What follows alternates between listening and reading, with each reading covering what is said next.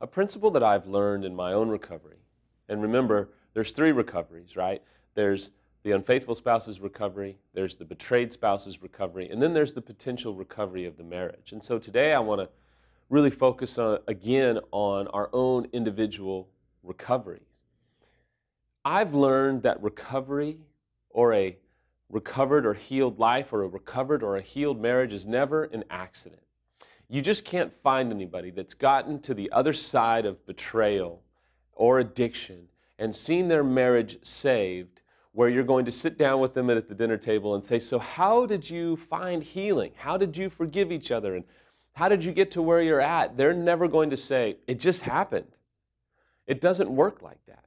Just like becoming a healthy individual, mentally, emotionally, or even spiritually, if that's your deal, doesn't happen by accident. It happens by intentionality. And so many times I talk to spouses who some are unfaithful, some are betrayed, and they'll say, you know, I just, it's, it's not working or we're stuck. And my first response always is, well, what recovery work have you done? If you've ever asked me a question on Twitter or YouTube, my response has probably always been, well, what recovery work have you done? Because if you haven't done any significant recovery work, you're going to be stuck. And I want to make suggestions for you that will work and help you get unstuck because you have to be intentional. And so many times, the unfaithful spouse will find themselves sucked into the despair and pity that we feel towards ourselves because we've completely screwed up our life, our marriage, our family, everything that we have held so dear at one time. We have really held loosely, and everything is in chaos and we don't want to do recovery work. We'd rather get drunk or lay on the couch or just sleep or just get lost in TV or find some way to escape from the pain and the agony that we are feeling. I want to teach you a principle today that I learned actually while playing college baseball for Augie Garrido. Uh, it helped me in college baseball, it helped me in professional baseball. And it's a principle that, you know, lots of people will say, you know, you get out of it what you put in. But I have found what I learned in college and professional baseball to be true in recovery, which is early on, you don't get out of it what you put in. You actually get less back than what you're putting in. What I started to realize was I was doing all this work, I was reading books, I was meeting with therapists, I was doing everything that I knew to do but I wasn't seeing the fruit. I wasn't seeing the payoff. And it was frustrating. But I started to realize that that is how you develop tenacity. That's how you build progress. You're just not going to, and it's unrealistic to expect that early on, you're going to be met with this I give and he or she gives.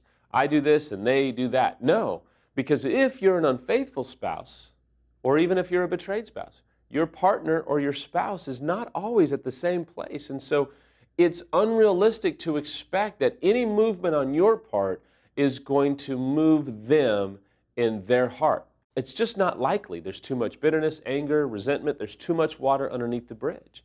So, a better expectation, especially as an unfaithful spouse, is to realize I'm not going to just get back what I deserve or want because I'm doing a little bit of recovery work. Here's a frustration case in point that many unfaithfuls experience is that they'll start to try and gain momentum.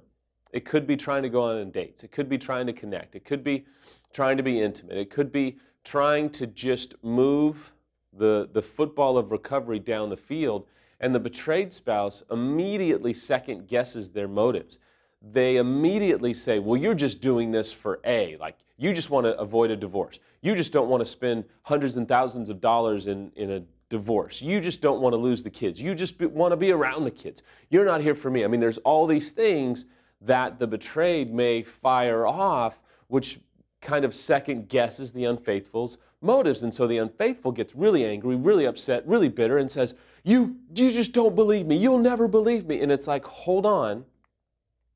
That's the absolute wrong response, unfaithful, because why wouldn't the betrayed second guess your motives when you've lived a double life or had an affair or violated the, the moral agreement, the wedding vows, whatever you want to call your situation, you've violated that. You've trampled on that. You've transgressed that. So your motives are going to be questioned for quite some time. And if you have nothing to hide, then that's okay. My response to Samantha was, You can question my motives all you want. I have nothing to hide. I only want to help you. I only want to help us. You can question me all you want. I hope that you will see over time, over my consistent effort, that I want only you, only us, and only our family. So you can second guess my motives, that's fine, because I love you and want to save this relationship and will do whatever it takes. If you're an unfaithful spouse, frustrated that your betrayed spouse constantly second guesses your motives, it's normal. It's all part of it. It is simply part of the process that is going to need to take shape for you to win back and woo back your betrayed spouse's heart.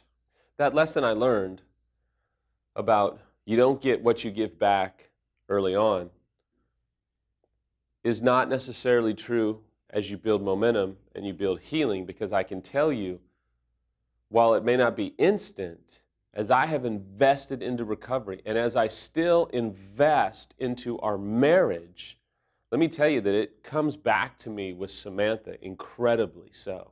Our marriage is stronger than it's ever been because we have both made the commitment to invest, to continue to invest, even with the temptation time and time again to get angry about life and unmet, expectations and unfulfilled expectations and disappointment after disappointment, as we continue to invest and as we continue to give to the marriage, it does come back, but not early on. Early on, it's a bit of a test to see how committed are you to your own recovery? How committed are you to making it safe for your spouse's recovery? And how committed are you to the potential recovery of the marriage?